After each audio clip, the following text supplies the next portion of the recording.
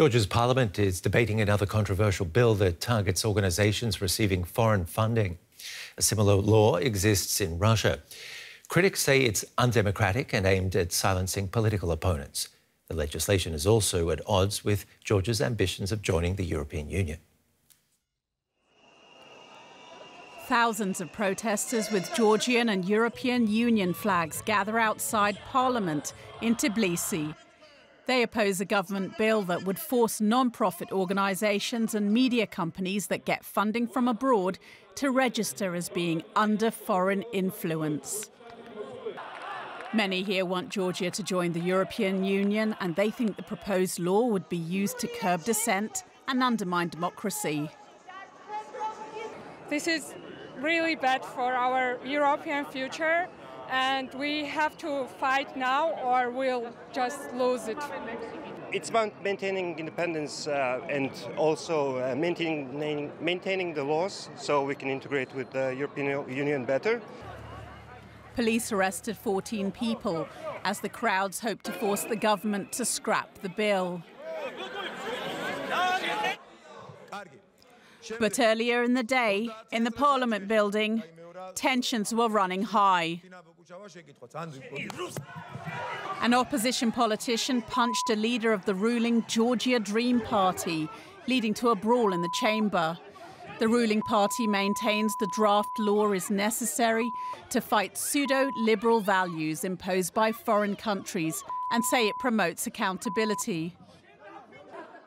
The party is torn between deepening its relationship with neighbouring Russia while also wanting to join the European Union.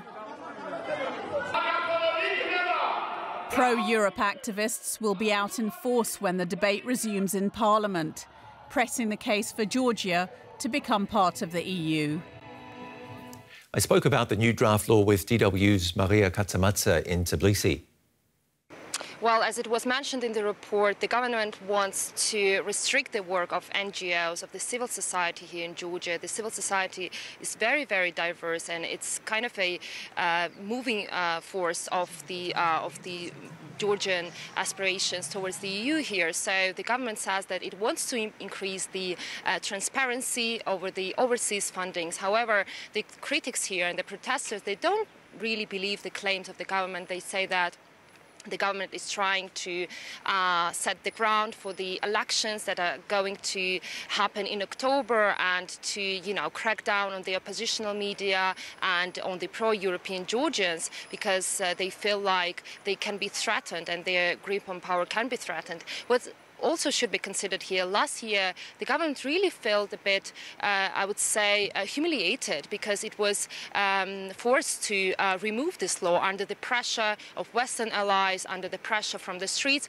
So this time around, they're saying that we will not stop and then we will adopt this law. Well, what sort of a threat do these protesters pose for the government?